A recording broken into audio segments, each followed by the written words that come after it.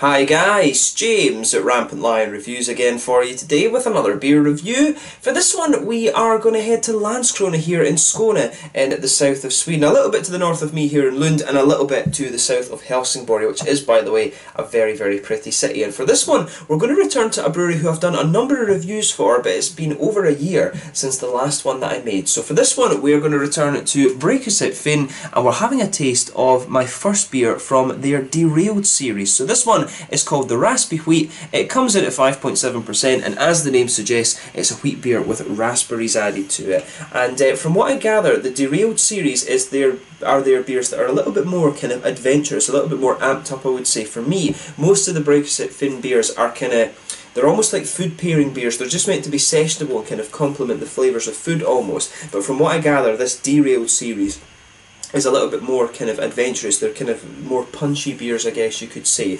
And uh, that, from what I gather, my friend Connie Magnuson, who lives in Landskrona, he tells me that this one is a pretty good beer, and he's never steered me wrong yet. So really looking forward to trying this one. And as always, I hope you guys enjoy my take on this beer. So anyway, as is usual with my reviews, then I'll tell you a little bit about the brewery. If you want to get straight to the tasting, just fast forward. All the usual links are in the description below. That's the brewery website, the link to my other reviews that hopefully I can do in the future from Brygghuset Finn. This is review number 5 or so from these guys and I'm sure there will be more. They do have another beer coming out in the small partiers at the start of December in uh, 2018 so keep an eye out for that one. There's all the usual social media. If you want to see more beer reviews do please consider subscribing to the channel. The whole channel of course has a geography based tagging system so you can go into the homepage and search for beer based on country, city, state, county, prefecture, whatever it is you're interested in. Do check out the playlist of beers from different countries. There is one there for all the Swedish beers that I've reviewed for you. That's constantly being added to. And as always, please do get in touch and let me know some of the other beers and breweries that you guys would like to see me review. It's always great to hear from you guys that are watching the videos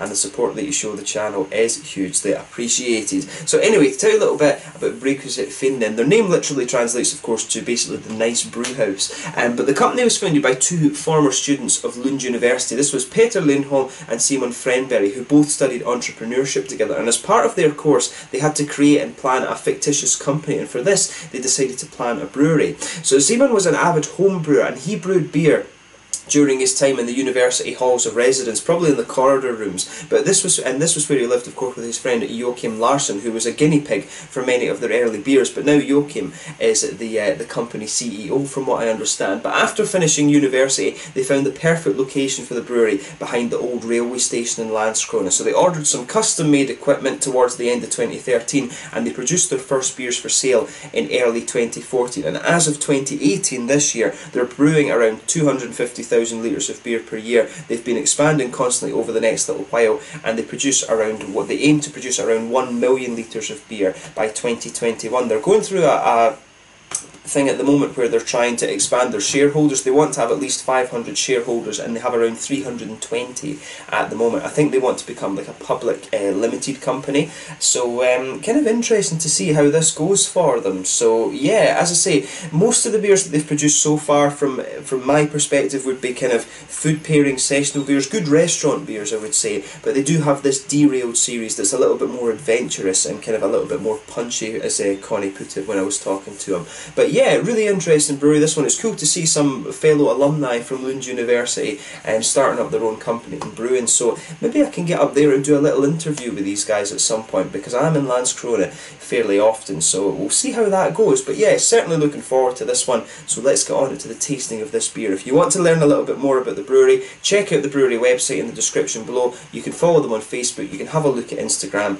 and uh, you can keep up to date with all the latest goings on. But like I say, let's get on to the tasting of this beer itself. So the brewery notes can go away and we'll have a taste of this beer itself. So it tells you a little bit about the beer on the side there. It just says you know it's, it's uh, basically a fruit beer. It's uh, basically a fruity wheat. You get a little bit of a nice kind of bready wheaty note at the start then the, the raspberries come in a little bit later. This one comes in at 5.7% and um, yeah best before the 13th of the 12th 2018 so this one yeah when I'm drinking this it'll be like about a month or two old in the bottle I would think. But yeah there is the Brygghuset Finn bottle cap on this one. This is the same as they use for their other beers and the label of course is a little bit different compared to the regular ones. Most of the labels are these kind of brown ones but yeah there you can see right in here if I turn it to the side a little bit there is the Brygghuset Finn symbol there. Yeah, pretty cool. But yeah, let's get this guy out then and we'll get on with the tasting. 5.7% raspberry wheat beer and um, yeah, not much more to say about it, so let's get it out. So yeah, as you can see with this one, nice little bit of smoke on the opening and this one is definitely a little bit more pink. Um, but yeah, nicely presented beer. So yeah, as you can see with this one, it's poured a nice bright kind of uh, pink colour. There's a solid, um, I would say, there's a solid finger of a frothy, slightly pinky fawn coloured head and there's one or two big bubbles sticking towards the side of the glass, a few little ones heading up towards the bottom of that head there, but you know overall looks pretty nice and pretty much what you would expect from any beer that has some uh, some raspberries in it. So yeah, let's have a look at the aroma then and see how we get on. If I put my fingers behind the glass there, of course you can see this beer is quite hazy actually. So let's have a closer look at the aroma and just see how we get on with this one. So yeah, Nice bit of that bready wheaty note coming out of the beer. Yeah, nice sort of wheaty kind of bready aromas coming out of there. It's almost, it does smell just really like white bread to be honest. It reminds me a little bit of some of the German kind of white bready things. A little bit of hoppiness in there, some sort of grassy floral notes as well. Maybe a little tiny bit of that almost sweet earthiness. I do wonder if they'll have used a little bit of a German noble hop in this beer. I would be interested to know.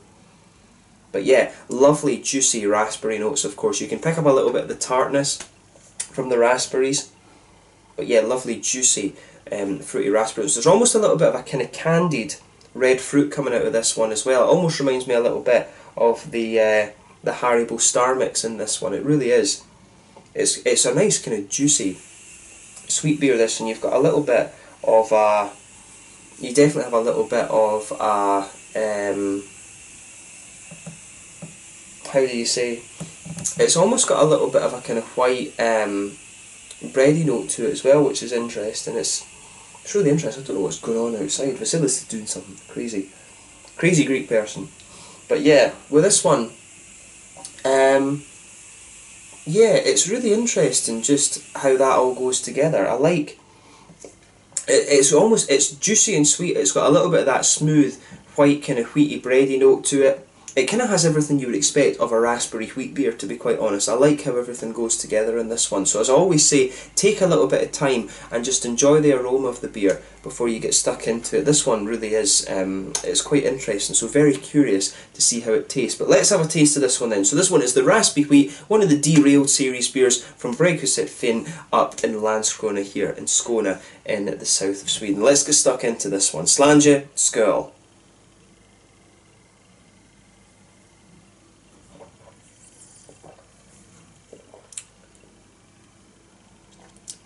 Yeah. That's a nice beer actually. I like what this one's doing.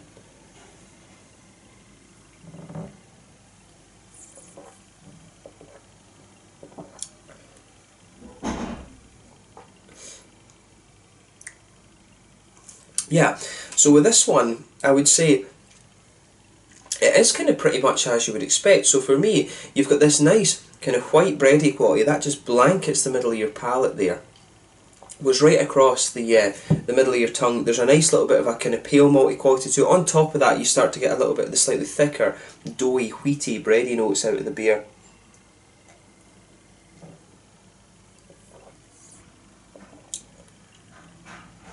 Yeah, definitely a nice little bit of that doughy, wheaty kind of thing sitting on there. It's almost a little bit sweet in the middle of the palate as well. I do wonder, it's almost got a little touch of a kind of biscuity flavour or cookie-ish flavour right in the middle of the tongue. Uh, on the hoppy side of things, back corners of the palate for me, there's a little touch of earthiness there. I do wonder if there's a little bit of noble hop in here. It does have a little bit of that kind of German noble hoppy quality. As you come further forward on the sides of your palate, it smooths out a little bit. You've got a little bit of a kind of floral aromaticity on the front corners of the tongue. Then round the very front curve of the palate, you've got a nice little bit of a kind of um, grassy quality to the beer as well, which is nice. And then the, the raspberry flavours are coming out around the, the front edge of your tongue. It's almost got just a little bit of a sour quality to it, this beer, which is nice.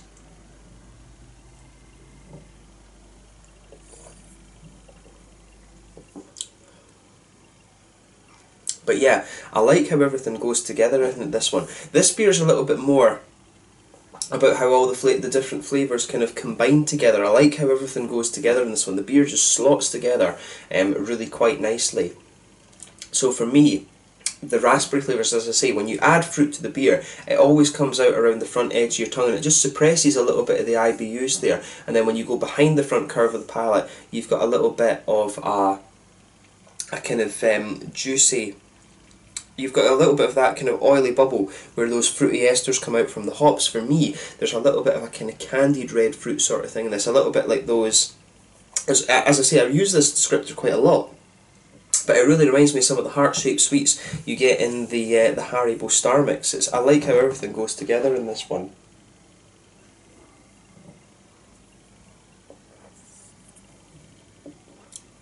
Yeah, I would stick with that description. You've got a little bit of the sharper raspberries there, and you've got some of the kind of candied um, red fruity flavours too, which is um, which is quite nice. Everything sort of goes together in this one. To be honest, there's nothing in terms of the the flavour profile of this beer that's overly surprising, but it's one of these ones again that's just well brewed. You know, you taste this beer and you think, yeah, this is a really kind of well done beer. This one, so I'm really looking forward to see what else comes out of this. Um, this derailed series that they do. This one, as I say, is a little bit more adventurous than some of their other beers, and I'm not surprised that this one's good because I remember they had um, a beer, a wheat beer that I tried that was a little bit more hoppy. It was almost like an American style wheat beer, and that was the last one I reviewed from these guys. And to me, their other beers were, you know, the the more food pairingy beers that they have were, were decent enough, but that was a step above it. And you know, I'm surprised. I'm not surprised with this because they showed with that beer that they can really do a wheat beer um, nicely. And for me, again they've done a good job of this. So thumbs up to uh, to Brygghuset Finn for this one. I like how this beer kind of comes across.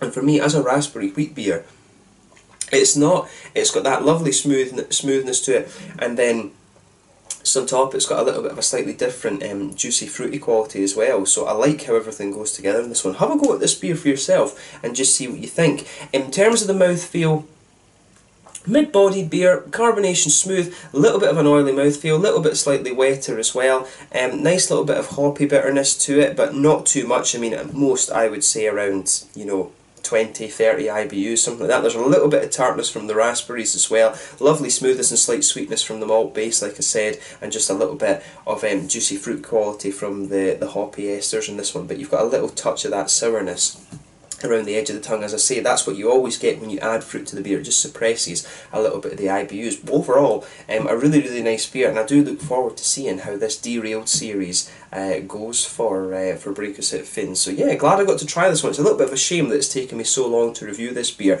but none. Pardon me, nonetheless, I hope you guys have enjoyed my take on this one. So yeah, let's leave it at that. So yeah, this one was the Raspy Wheat, part of the Derailed series from Brygghuset Finn in uh, Landskrona here in Skåne in the south of Sweden. Really nice beer this one. Nothing that you wouldn't expect in terms of flavour profile but just very very well brewed. I think that's a good way to sum this one up. So once again thank you for watching my beer reviews. Until the next time please like, subscribe, share, all the usual YouTube stuff. Check out my social media, have a go at some of these Brygghuset Finn beers and I will catch you guys very soon with some more. This is the Raspy Wheat from the Derailed series at Brygghuset Finn in Landskrona here in Skåne in the south of Sweden. Until the next time stand just now and I'll catch you guys later. Skål.